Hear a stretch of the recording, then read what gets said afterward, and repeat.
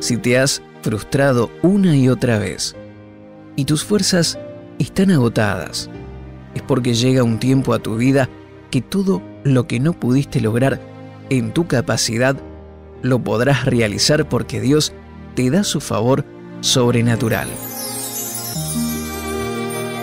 En Lucas capítulo 5, versículo 4 y 5 dice, Lleva la barca hacia aguas más profundas y echen allí las redes para pescar. Maestro, hemos estado trabajando duro toda la noche y no hemos pescado nada, le contestó Simón. Pero, como tú me lo mandas, echaré las redes. Pedro y sus compañeros de barca habían estado intentando pescar sin éxito durante toda la noche. Luego de esto Jesús llega y le pide a Pedro entrar a su barca para predicar a las multitudes que lo seguían.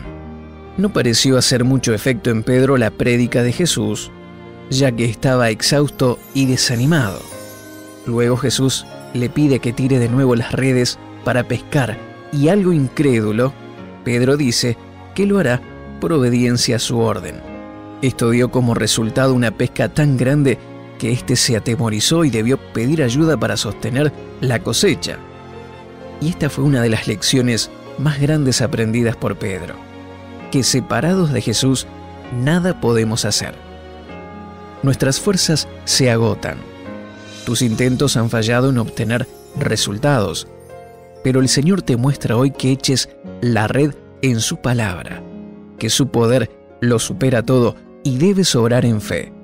Jesús te envía a no bajar los brazos, porque una gran cosecha te espera. Oremos así. Dios mío, hoy renuncio a creer que todo lo puedo en mis propias fuerzas. Comprendo que sin ti nada puedo hacer. En tu palabra echaré la red para obtener la cosecha más grande que haya obtenido hasta ahora en mi vida. Lo creo y declaro en el nombre de Jesús. Amén. Gracias por compartir este tiempo con nosotros. Te saludamos desde avanzapormás.com. Estamos para bendecirte.